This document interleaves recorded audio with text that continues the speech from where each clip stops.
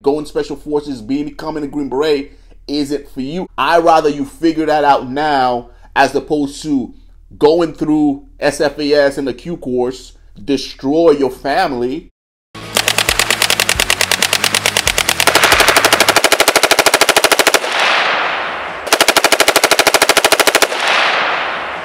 What's going on guys? Welcome back to the channel. So today I wanted to jump on here and make this video just so I can share my knowledge as far as what I think about this particular topic. I was on a call earlier today with a young man. Uh, we spoke and he mentioned uh, a few things to me that got me thinking that, hey, bro, like maybe special forces just isn't for you. And that's okay, right? Like, you don't have to be a special forces guy. Not everybody is going to make it through, and not everybody should. There's a reason why it's 1% of the 1% that actually makes it through and become a Green Beret.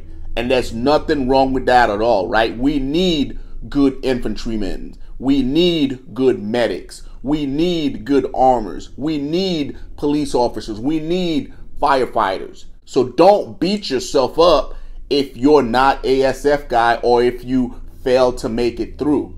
So I was on the call with this young man, and uh, he was just asking me a couple of questions as far as what he had going on with his family. He mentioned that the family didn't want to go towards this route because they just had a kid, right? He needed to be home, and the child is having some issues, and that him being away would just complicate things, right? So in this particular point, I need you to think about it. What's your priority? Is it going to be your wife and your child?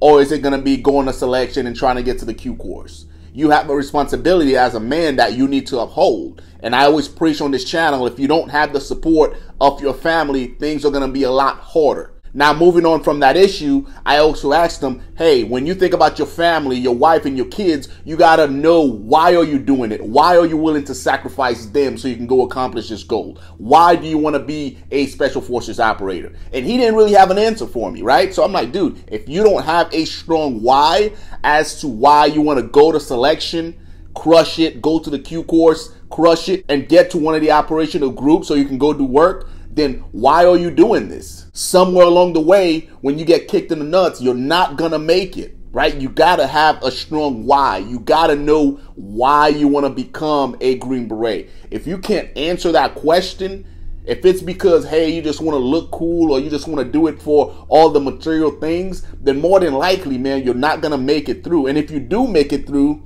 you're gonna be a liability, right? When shit gets tough, you're gonna be one of those dudes that's like, oh man, this is nothing like I expected. So again, I asked him, why are you trying to do this, man? Why do you want to do it? And he couldn't answer me.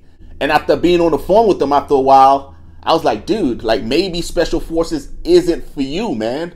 And there's nothing wrong with that. He just happened to be a 11 Bravo. I'm like, do you love what you do as an 11 Bravo? He's like, yeah, I love it. You know, I just want to do it on the highest level. I'm like, well, dude, if you love what you're doing as 11 Bravo, then why don't you just stay 11 Bravo, go to Ranger School, go to Ranger Bat, and then horn that, keep enjoying what you're doing.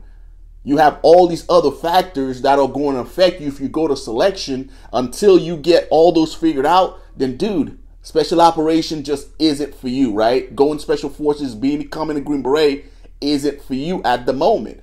And again, I'm on here to tell you guys that there's nothing wrong with that, right? I rather you figure that out now as opposed to going through SFAS and the Q course, destroy your family, and then making it through and then not truly wanting to be there, go down range, get hurt because you don't know what you're doing. Worse, get somebody else hurt because you don't know what you're doing, nor do you have the actual freaking desire to be there, right? I get it. It's appealing, right? You want that beret, you want that tie, but you got to want it for the right reasons. There's a lot of sacrifices that comes with this territory, all right? And again, guys, there's nothing wrong with, you know, just accepting the fact that it's not for you. There's other ways that you could crush it out there in the military. There's other ways you could crush it at life. If it's not for you guys, nothing wrong with that at all. But yeah, I just wanted to jump on here, guys, and share this story with you. Let me know what you guys think in the comment section below, guys. I appreciate you guys, and I'll see you guys in the next one.